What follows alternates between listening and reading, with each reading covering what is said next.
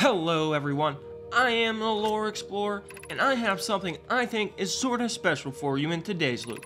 As always, this video will contain full spoilers for Outer Wilds and Echoes of the Eye, but today I had my buddy Xen make something special for you all. Instead of taking the Hearthian tour, we will be talking all about scale, but not really in a lore sense.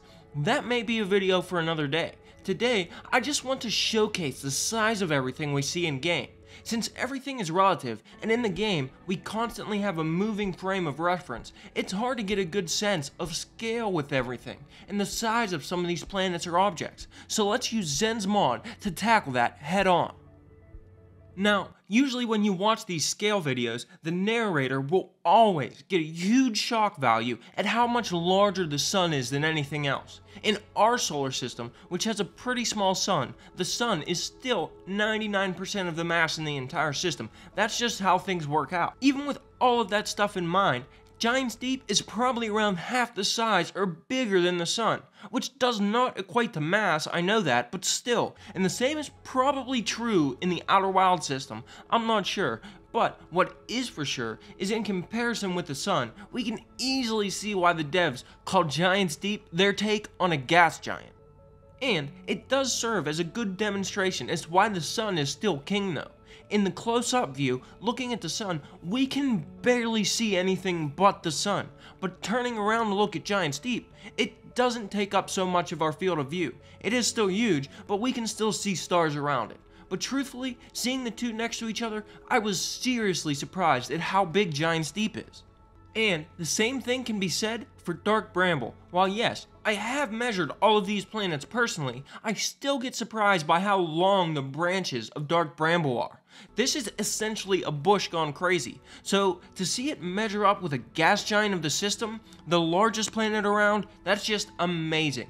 And the largest one of those vines growing out are probably around 0.7 to a kilometer or so long, alone. And as we know, inside Dark Bramble, those nodes and vines are even bigger. And now we get to the ring planet. But I think it's important that we take this with a grain of salt, keeping relativity and whatnot in mind, and the fact that we only see it from the simulation, it's hard to say exactly how big the ring planet is supposed to be in comparison to others in our system. But when designing the ring planet, this is the size the developers chose. I imagine the center bit is probably meant to be about as large as Giant's Deep or even bigger maybe and the rings would obviously grow along with it being a lot larger than that. But that's just my guess. It's still nice to get such a relaxed view of it with no limits and just out in space on its own. And again, the same thing can be said for The Stranger. It is so cool to be able to see it in such a relaxed view. And since Xen added a flashlight to the free cam mod, this is a pretty unprecedented look at The Stranger's two faces here, all lit up and close up. And I've mentioned this before, but with this much light and a pulled back view, The Stranger looks so much more like a machine or device. I can't help but notice a small resemblance to the artifacts here. And I wonder if that may be intentional or a hint or something like that. But since the scale of the ring planet is called into question, I figure it's best to compare the stranger to Brittle Hollow. And looking at it, the core of the stranger is a bit larger than Brittle Hollow is round. It's not quite as wide as Brittle Hollow is round, but the stranger still matches up pretty well with the second largest planet, ignoring plant wildlife, that we have in the system. And if you take into consideration the rings on the panels of the stranger, I'd say the stranger may be larger than Brittle Hollow, I'm not so sure. Which I always knew to be planet size, I just didn't think it'd be that planet size. I thought it'd be one of the smaller planets. But nope, it matches up with the one that has a freaking black hole as its core. Speaking of which, Brittle Hollow and Timber Hearth are a pretty good size comparison, but one thing I noticed is it almost looks like Timber Hearth could wear, you know, Brittle Hollow's crust as a jacket. Nice, snug, cozy fit. Now this is one of the things I wanted to see the most. The vessel in all of its glory, just floating out in the great vastness of space. But what I really wanted to see is how it's stacked up to everything. We only see it in what could be considered other dimensions from our own, in Dark Bramble and around the eye, so it's hard to get a good scale out there. But having it right here in our solar system, we can get a view of it right next to a planet and get a good size reading on it. And it turns out it's just about the same size as Ember Twin, which, as spaceships go, that is pretty big. But I don't know, I might just be going crazy. I did not expect a Nomai spacecraft to be that big. I knew hundreds of Nomai lived on them, many hundreds, but the idea that it's planet size is just wild to me. Maybe it's because we don't get to see a lot of it, or because the inside are like smaller, cramped tunnels when we visit it, but it just seems smaller. So to see it match up with one of the smaller planets in the solar system, even if it is one of the smaller ones, is just amazing to me. Since we always have its buddy right next to it for size comparisons, I think people get a pretty good grip on the size of Ember Twin and Ash Twin, so that may be what you'd expect here, but what may surprise people is the entirety of the Ash Twin projects lies within this small core of a planet. Even though it looks small, it can fit so much inside, and when we enter it, maybe the Ash Twin Projects looks a little bigger than it is, but it still is pretty big, and it all fits within Ash Twin's core. But whoa, take a look at this everyone. The orbital probe cannon in its full glory as well, not fragmented into tiny pieces only vaguely kept together through a shared orbit. And holy crap is it big! Again, I knew it was big, we are minuscule when we enter this thing. But with its usual companion, Giant's Deep, ever by its side to compare it to, it always looked pretty small to me. I had it on par with the gravity cannons in the solar system, just a bit bigger maybe, but no, this thing is massive in comparison. Just look down at the barrel of this thing. You can hardly even see the end with any detail because it's just so far away. You'd need a telescope to see it. To get a good sense of this, look at this picture of Ember Twin with the gravity cannon right next to the orbital probe cannon. It just uh, the orbital probe cannon is on size with the whole planet, while the gravity cannon barely sticks out of the surface of the planet.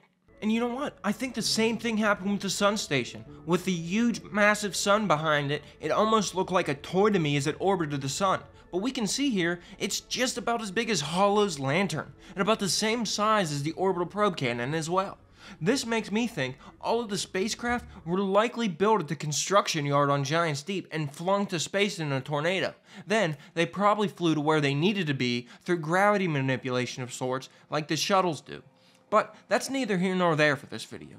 Another body that's hard to get a sense of is the quantum moon. Since it's always changing reference points and we have very different things to compare it by, it always looks a different size. But we can see here, it's about the same size as Hollow's lantern as well.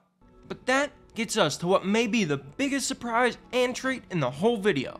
And maybe the scariest, an anglerfish flying through space, ready to pounce and attack you as you do a leisurely flight to Ash Twin. No, but seriously guys, everyone knew anglerfish were big, but Quantum Moon big, the Attlerock big, that's just amazing and all I can picture now is its silly little anglerfish trying to hide behind the Attlerock to try to trick you as you try to fly away, but you can see its silly little dangly do hanging over the top. Oh, dumb little anglerfish, what are you doing hiding behind the Attlerock? But Anyway, we have to keep in mind that, of course, we only see this inside Dark Bramble, which again is another dimension, so the scale may be a little off here, but somehow I think it's pretty spot on, just a little give or take there.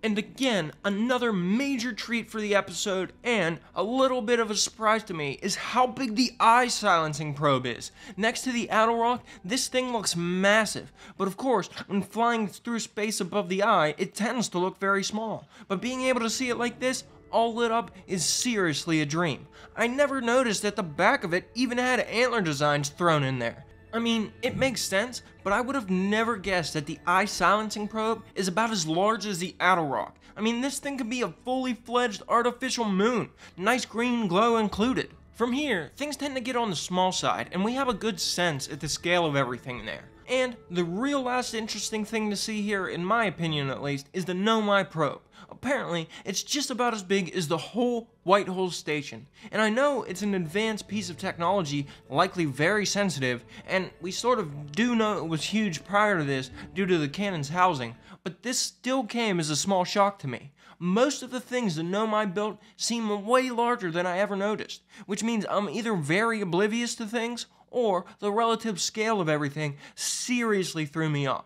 Either way, I am very glad I had this mod to help me get a sense of things. But I think that's just about all I have to showcase for everyone in this video. There's still a few objects left in the mod that I didn't highlight, but I think the scale wise, this was just about the most interesting stuff I could highlight. And I just want to mention again, Xen is awesome. They remembered a few objects that I completely forgot, and if you remember, they also helped me with the Daydream mod.